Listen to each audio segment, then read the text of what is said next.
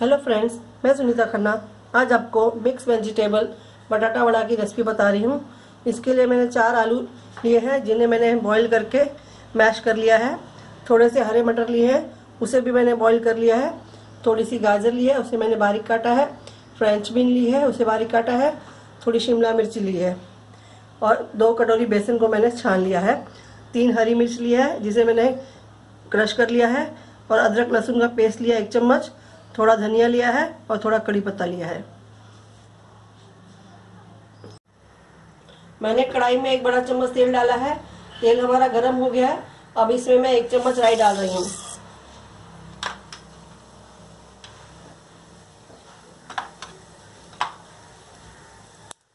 अब इसके अंदर मैं अदरक लहसुन की पेस्ट डाल रही हूँ।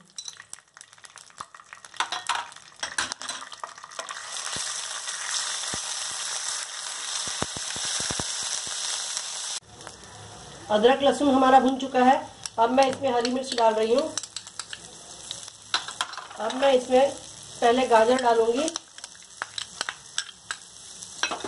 और फ्रेंच बीन डालूँगी और इसे थोड़ा सा मैं एक दो मिनट भून लूँगी। ताकि इसका कच्चापन निकल जाए।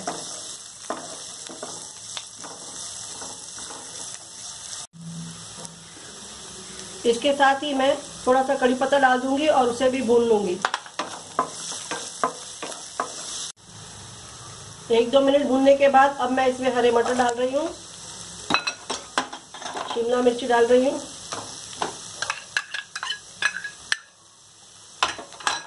अब मैं इसमें आधा चम्मच हल्दी डाल रही हूँ।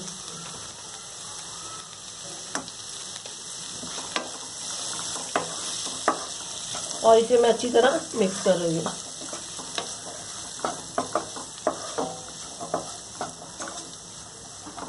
अब मैं इसमें बॉइल पोटैटो डाल रही हूँ।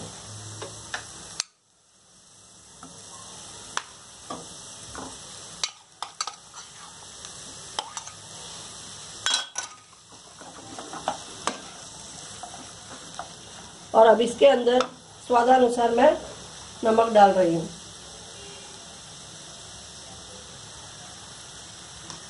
और इसे अच्छी तरह मिक्स कर रही हूँ। मैंने इसे अच्छी तरह मिक्स कर दिया है। अब मैं इसमें हरा धनिया डालूँगी और उसे अच्छे से मिक्स कर दूँगी।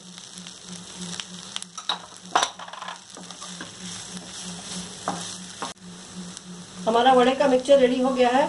अब मैं गैस बंद कर रही हूँ। अब हम बेसन को घोलेंगे। बेसन में मैं थोड़ी सी हल्दी डालूँगी। और स्वादानुसार नमक डालूँगी और इसे थोड़ा थोड़ा पानी डालकर इसका एक घोल बना गाढ़ा घोल बनाऊँगी। वड़े के मिक्सचर को मैंने एक बाउल में खाली कर लिया है और बेसन का भी मैंने गाढ़ा घोल बना लिया है। ये देखिए, इसकी कंसिस्टेंसी अब मैं इसके बॉल बनाऊँगी।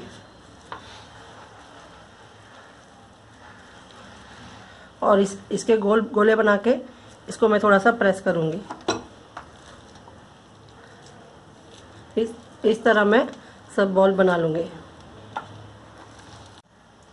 मैंने थोड़े बॉल रेडी कर लिए हैं और तेल भी हमारा गर्म हो चुका है, अब हम इसे फ्राई करेंगे।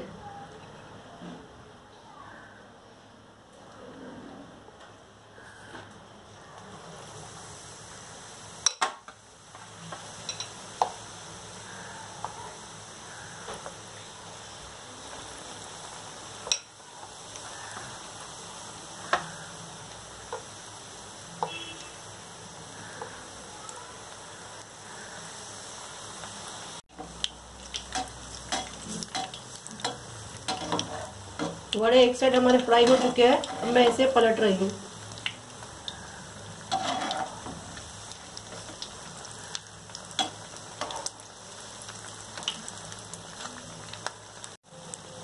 वड़े हमारे दोनों तरफ़ से फ्राई हो चुके हैं, अब मैं इसे बाहर निकाल रही हूँ। इस तरह मैं अपने दूसरे वड़े भी फ्राई कर लूँगी।